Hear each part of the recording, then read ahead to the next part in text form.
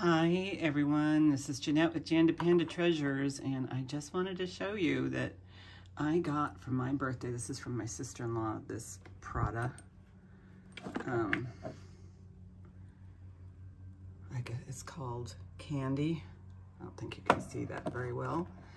So yeah, I don't collect perfume per se, but I do have my favorites. Definitely this one, I get this about twice a year on Christmas.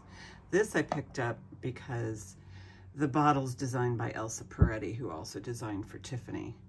So um, anyway, that is, and thank you all for your birthday wishes. I really, really, really appreciate it. And this, this is where I store my um, post earrings.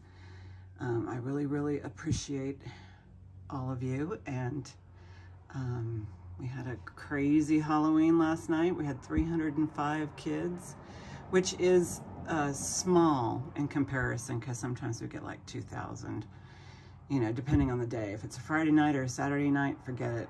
We run out of candy really fast and we only give one piece. Anyway, so um, yeah, that's this is kind of a little section of my bathroom. But right there is where I keep all my, my perfumes and the Chanel back here, those are empty. There's two empty boxes. I don't know if you can see it, but there's two empty boxes. I do save the uh, boxes and the bottles. So I've only gone through, well, it's actually within the last five or six years, maybe, because I just love the scent. It's quite unique. And by the way, this, if you get a chance to try this in um, the store, Try it out. You might like it. It's really nice. I have not tried this one. I don't know how old that perfume is. I just love the little bottle. Um, Halston said he um, wanted a design on a bottle that you knew it was Halston, didn't need to label it. So that's pretty cool. Anyway, so um, yeah, I'll be uploading another video today and um,